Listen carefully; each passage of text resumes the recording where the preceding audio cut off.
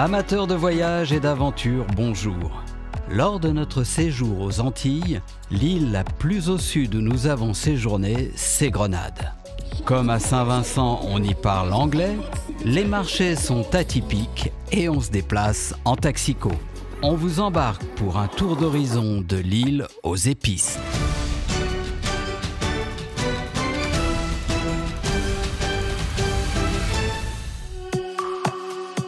Grenade est une île verte modelée par le volcanisme et la forêt tropicale.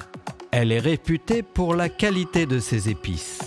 La plupart des visiteurs sont des vagabonds des mers qui naviguent à travers les Caraïbes. Ils viennent ici à la fin de l'été pour s'éloigner des risques cycloniques. Comme beaucoup d'autres bateaux, on aurait pu jeter l'ancre dans la baie bien protégée de Saint-Georges mais pour faire quelques travaux, nous nous sommes amarrés au port de Plaisance, bien équipé et proche de la ville.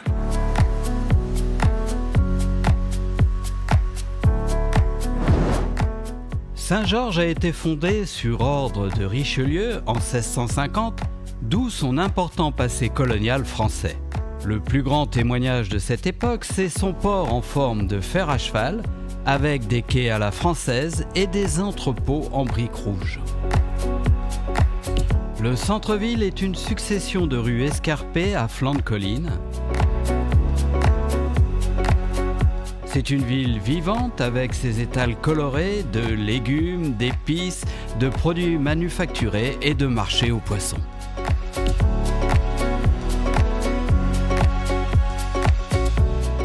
Le Stendhal Tunnel passe sous la colline et relie les quais du port au quartier ouest.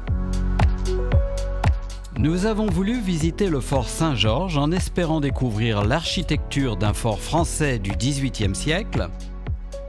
Derrière les fortifications, on imaginait de beaux bâtiments bien alignés. En fait, ils sont pratiquement en ruine et auraient bien besoin d'être rénovés. Une nouvelle journée nous conduit vers le nord de l'île. La route qui longe l'Atlantique serpente entre villages de pêcheurs et longues plages désertes. Notre premier objectif, les cascades. Il y a beaucoup de rivières sur cette île et la géographie volcanique favorise les chutes d'eau de toute beauté.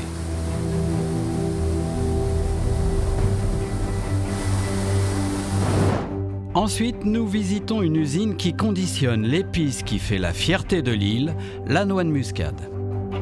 Un établissement étonnant datant de 1952 où tout est encore traité manuellement comme au premier jour. C'est un plaisir de voir travailler ces gens en silence sans le bruit de machine. Chaque sac est imprimé manuellement au moyen de pochoirs pour une commercialisation mondiale. Notre guide chauffeur nous conduit à une exploitation de chocolat. Ici, les fèves sont traitées de manière artisanale et convaincus par la dégustation, nous repartons avec quelques tablettes.